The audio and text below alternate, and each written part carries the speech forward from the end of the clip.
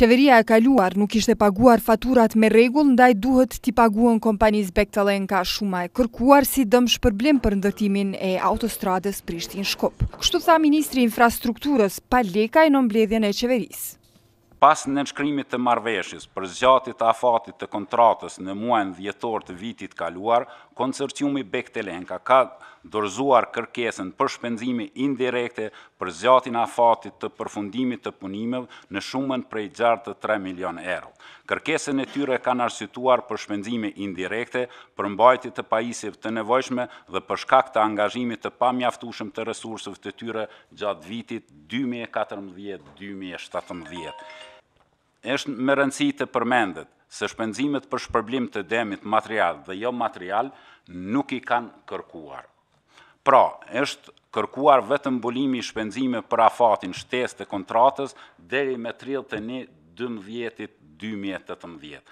Pas negociatave, intenzive të zhvilluara në mes dy palëve, kemi arritur që kjo shumë të ulet në katërdhjetë e pesë milionë euro, duke shtuar TVSH-në tetëmbëdhjetë për qind në shumë prej tetë pikë një tetë pikë një milionë euro për një shumë të përgjithshme që do të thotë shuma e përgjithshme është prej pesëdhjetë e tre milionë e njëqind mijë euro. Kjo është konkluzioni real, pra që është qenë e vendit qeveria e Kosovës të merr përgjegjësinë në këtë situatë, të mos lejoj vendin me kalu në konteste ligjore që kishin pas me përfundu në gjukata ndërkombëtare dhe që në të njëjtën kohë kishin pas me rezultu në marrëdhanie të prishne me një operator shumë serioz për vendin tonë, në këtë rast në projektin ma serioz të mujshëm, me investimet ma të mdhaja potenciale që kem bo deri sot, prej buxhetit të vendit.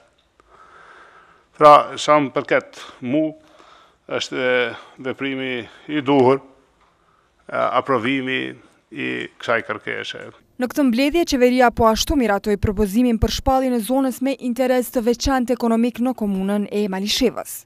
Gjatë diskutimit të kësaj pike të rendit të ditës, zëvendësministri i Financave Fatmir Gashi tha se në ministrinë e tyre nuk ka arritur ndonjë kërkesë dhe se nuk e dinë koston e projektit. Ministri i Zhvillimit Ekonomik Valdrin Lluka tha se nuk duhet të shpallen zona të reja ekonomike derisa janë tri zona ekonomike që nuk janë zhvilluar. Kryeministri Ramush Haradinaj kritikoi ministrin e Inovacionit dhe Ndërmarrësisë Besim Beqaj i cili nuk mori pjesë në këtë mbledhje të qeverisë. Nuk është në rregull, një ministër e vlerson një aktivitet tjetër ma të rëndsishëm se takimin e qeverisë, a e ka dit që është mbledhja sot një javë, që një javë ditë. S'mujmë pa kufi me shku kështu. Nuk e kom personale me kërkan, po o po e vazhdojmë punën si qeveri që i ka i apelojmë. Vlenë për secilin, jo nuk s'kem pse. Vlenë për secilin. Nuk ka logjikë kështu. Nuk, nuk e di çka është ma me rëndësi se mbledhja e qeverisë për një ministër. Haradinaj këto deklarata i bëri pas fjalës së zëvendësministrit të Inovacionit dhe Ndërmarrësisë Bujar Cakolli lidhur me shqyrtimin e propozimit për të kërkuar nga Presidenti i Republikës së Kosovës dhënien e autorizimit për nënshkrimin e marrëveshjes së bashkëfinancimit me Agjencinë Gjermane për Bashkëpunim Ndërkombëtar GIZ për projektin CETEP.